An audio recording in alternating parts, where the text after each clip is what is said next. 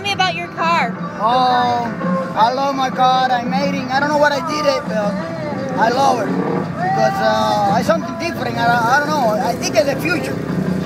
I uh, come in in a space car or something. Look like. And um, I started almost two years ago, maybe more, a little bit more. But uh, I think I got everything what I wanted, my dreams. And you started adding this stuff on two years ago? Oh, almost two years and a half, something like that. And uh, how, is this all, all sticking to this? All like a screw up and all that glue out.